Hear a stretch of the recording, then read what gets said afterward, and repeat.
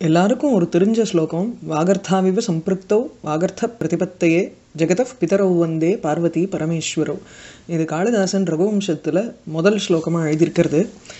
அதில் பார்வதியும் பரமேஸ்வரனும் வாக்கையும் அர்த்தத்தையும் போல சம்பிருக்தோ சேர்ந்து இருக்கக்கூடியவர்கள். மேலும் அந்த பரவ பார்வதி பரமேஸ்வரனை வந்து எப்படி சொல்கிறாருன்னா ஜெகத பிதரவு வந்தே அப்படின்னு சொல்கிறார் ஸோ அவள் ரெண்டு பேரையும் வந்து வாக்கையும் அர்த்தத்தையும் போல சேர்ந்திருக்கிறவா? இந்த உலகத்துக்கு தாயும் தந்தையுமாக இருக்கக்கூடியவர்கள் அப்படின்னு அவளை சொல்லி இதை வந்து ஒரு ரொம்ப அழகான ஒரு சாட்டு ஸ்லோகத்தில் எப்படி அவள் ரெண்டு பேரும் வந்து உலகத்தில் இருக்கக்கூடிய அத்தனை பேருக்கும் இப்போ தாய் தந்தையராக இருக்கா அப்படின்னு சொல்கிறார் இது எந்த கவின்னு தெரியல. அனானிமஸாக தான் இருக்குது சுபாஷித சங்கிரகத்தில்.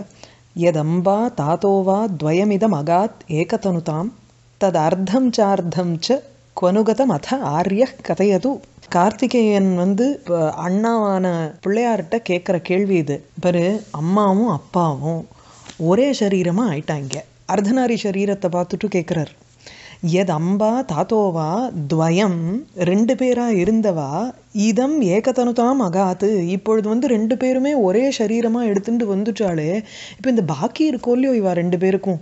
பாதி பாதி தானே இருக்குது இந்த சரீரத்தில். இந்த மிச்ச பாதி என்னாச்சு? அப்படின்னுட்டு அந்த குழந்த முருகன் வந்து அண்ணாட்ட கேட்குறான் தது அர்த்தம் ச அர்த்தம் கொனுகதம் அத ஆரியாக கதையது.